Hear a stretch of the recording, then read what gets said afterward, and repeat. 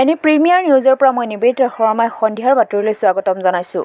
আজি মুখ্য বাতৰিসমূহ হ'ল পশ্চিম কাৰ্বি আংলঙৰ ওপৰ তৰাডুবি তিৱা জাতীয় বীৰ জোঙাল বলহুৰ প্ৰতিষ্ঠা দিৱস উদযাপন। এইফালে বোকাজানত এটি আঠ বছৰীয়া শিশু নিৰুদ্দেশ। এতিয়া বিতং বাতৰি। পশ্চিম কাৰ্বি আংলঙৰ ওপৰ তৰাডুবিত তিৱা জাতীয় বীৰ জোঙাল বলহুৰ প্ৰতিষ্ঠা দিৱস উদযাপন। পশ্চিম কাৰ্বি আংলং জিলাৰ অন্তৰ্গত বৃহত্তৰ তৰাডুবি অঞ্চলৰ তিৱা জনগোষ্ঠী জাতীয় সংগঠন তিৱা মাতনলাই টখৰাৰ ওপৰৰ তৰাডুবি শাখাৰ উদ্যোগত।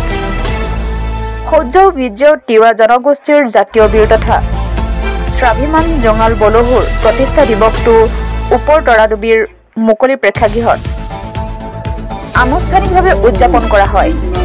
এই উপলক্ষে কালি তিৱা মাতনলাই টখৰাৰ ওপৰ তৰাডুবিৰ শাখাৰ সাধাৰণ সম্পাদক জয়ন্ত হুকাইয়ে। আগধৰা প্ৰতিষ্ঠা দিৱসৰ অনুষ্ঠানত সন্ধিয়া পাঁচ বজাত তিৱা জাতীয় বীৰ জোঙাল বলহুৰ প্ৰতিছবিৰ সন্মুখত বন্তি প্ৰজ্বলন কৰে তিৱা মাতনলাই টখৰাৰ ওপৰ তৰাডুবি শাখাৰ সভাপতি নৃপেন পাটৰে। সন্ধিয়া পাঁচটা ত্ৰিছ বজাত তিৱা জাতীয় বীৰগৰাকীৰ প্ৰতিছবি মল্যাপন কৰে। যুটীয়াভাৱে তিৱা মাথনলাই টখৰাৰ উপদেষ্টাদ্বয় ক্ৰমে লহৰ লৰম আৰু মোহন মশ্ৰঙে ইয়াৰ পাছতে তিৱা জাতীয় সংগীত পৰিৱেশন কৰে তিৱা মাতনলাই টখৰাৰ ওপৰ তৰাডুবি শাখাৰ শিল্পীসকলে।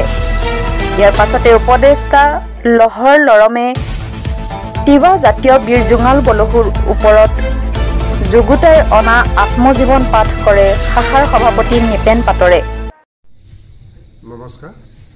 আমাৰ তিৱা জনগোষ্ঠীৰ সহ্য বীৰ্য বীৰ জোঙাল বলহুৰ আজি প্ৰতিষ্ঠা দিৱস। এই প্ৰতিষ্ঠা দিৱস আমি ওপৰতৰা দেৱীত আয়োজন কৰিছোঁ আৰু তেখেতক শ্ৰদ্ধাঞ্জলি জ্ঞাপন কৰিছোঁ।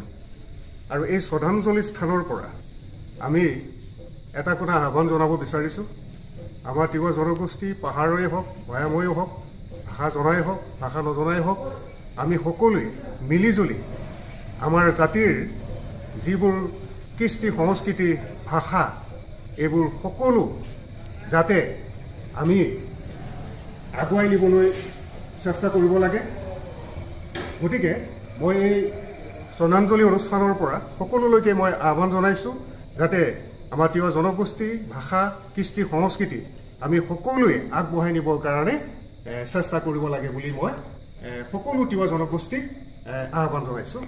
সদৌ শেষত শলাগৰ শৰাই আগবঢ়াই টখৰাৰ ওপৰ তৰাডুবিৰ শাখাৰ প্ৰচাৰ সম্পাদক নিপেন মচৰঙে।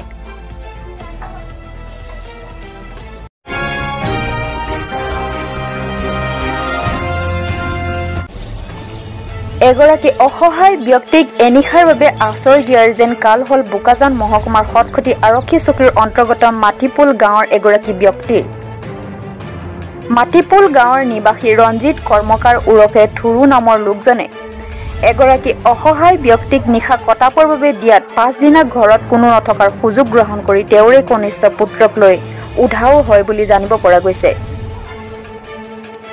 যোৱা বছৰ ৰঞ্জিত কৰ্মকাৰৰ পত্নী কোনো অজ্ঞাত লোকৰ লগত পলাই যোৱা দিন হাজিৰা কৰি কোনোমতে পৰিয়াল পোহপাল দি থকা এই লোকজনৰ দুটি পুত্ৰ সন্তানৰ এটি কন্যা সন্তানৰ সৈতে জীৱন যাপন কৰি আছিল।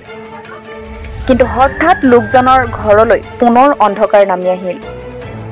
কিয়নো এইবাৰ তেওঁৰ এটি পুত্ৰ সন্তানটি নিৰুদ্দেশ হোৱা ঘটনাই তেওঁক অতিকৈ মৰ্মাহত কৰি তুলিছে। যোৱা একত্ৰিছ বাৰ দুহেজাৰ একৈছ তাৰিখৰ পুৱা পৰাই মাটিপুল গাঁৱৰ ৰঞ্জিত কৰ্মকাৰৰ কনিষ্ঠ পুত্ৰ ৰামবাবু কৰ্মকাৰ আঠ বছৰ নিৰুদ্দেশ হৈ থকাৰ ঘটনাই সমগ্ৰ অঞ্চলজুৰি এক চাঞ্চল্য বিৰাজ কৰিছে। অসহায় ব্যক্তিৰ ৰূপত অহা লোকজনৰ কোনো ধৰণৰ পৰিচয় নাই বা যোগাযোগ নম্বৰ নাই ৰঞ্জিত কৰ্মকাৰৰ হাতত। এতিয়া নিজ পুত্ৰক বিচাৰি যাবলৈও সাহস গোটাব পৰা নাই। ঘটনাৰ সন্দৰ্ভত খটখটি আৰক্ষী চকীত পিতৃ ৰঞ্জিত কৰ্মকাৰে এজাহাৰ দাখিল কৰিছে। খটখটি আৰক্ষীয়ে two oblique two zero' two two I P C three sixty three ধাৰাত গোচৰ ৰুজু কৰি শিশুটিৰ সন্ধান অভিযান অব্যাহত ৰাখিছে বুলি জানিব পৰা গৈছে। গতিকে এই শিশুজনৰ যদি কোনো লোকে সন্ধান লাভ কৰে তেন্তে স্ক্ৰীণত দিয়া নম্বৰত যোগাযোগ কৰিবলৈ বাবে অনুৰোধ জনাইছে শিশুটিৰ পিতৃয়ে। যোগাযোগ number nine three nine four seven six one zero' five four. এইটো আজি পাঁচ দিন হ'ল। পাঁচদিন মানে কিমান তাৰিখৰ পৰা? এইটো একত্ৰিছ একত্ৰিছ তাৰিখ। ক'ত গৈছে? আপুনি কিবা সন্দেহ কৰিছে নেকি? কাৰোবাৰ সন্দেহ আছে? সন্দেহ আছে মানে এজন মানুহ দুখত পৰাৰ কাৰণে মই এদিন ঘৰত থাকিব দিলোঁ ৰাতি। নিশা তাক থাকিব দিলোঁ। ৰাতিপুৱা আহি ভাত পানী বনাই খাই কামত যাম বুলি ওলাই গ'ল। তাৰ কেইদিন পিছত আহি ল'ৰাটোক লৈ গ'ল কৈ কেনে অলপ সন্দেহ আছে মোৰ। ক'ত আছিলে মানুহজন? আপুনি জানে নাই? নাই নাজানো মানুহজন। খালি কৈছিলে আৰু উৰিয়াম ঘাটত থাকোঁ কৈ কেনে। এইটো কাৰণে উৰিয়াম ঘাটত থানাত গৈও মই এণ্ট্ৰি দি আহিছোঁ। আপুনি অচিনাকি মানুহ এজনক থাকিব দিলে কিহৰ কাৰণে দিলে? এইটোৱে দুখ দেখাৰ কাৰণে দিলোঁ এইটোৱে মোৰ গলতি হৈ গ'ল। এতিয়া সি লৈ যে গৈছে বুলি আপুনি কেনেকৈ গম পালে? নাই মানুহকেইটা কৈছে যে তোৰ ঘৰত অহা মানুহকেইটা সি মানুহটোৱে আহিছিলে এবাৰ কৈ কেনে। এই বিষয়ে আপুনি এতিয়া স্থানীয় আৰক্ষী চকীত কিবা খবৰ দিছে নেকি? অঁ মই থানাত খটখটি থানাত খবৰ দিছে। অঁ ছাৰ এহেঁতি বিচাৰি দিম বিচাৰি চাওঁ কৈ- বুলি কৈছে। নাম ৰামবাবু কৰ্মকাৰ। ৰামবাবু কৰ্মকাৰ তাৰ বয়স আছে আঠ বছৰ। সি যোৱা আজি যেতিয়াৰ পৰা গৈছে আমাৰো একো ঠিকান নাই ভাত পানী যে মই ল'ৰাটো খবৰ পাম বুলি। কোনোবাই যদি খবৰ পলা পালে মানে আমাক জনাই দিলে বহুত খুচি পাম আমি বুলি আশা কৰোঁ।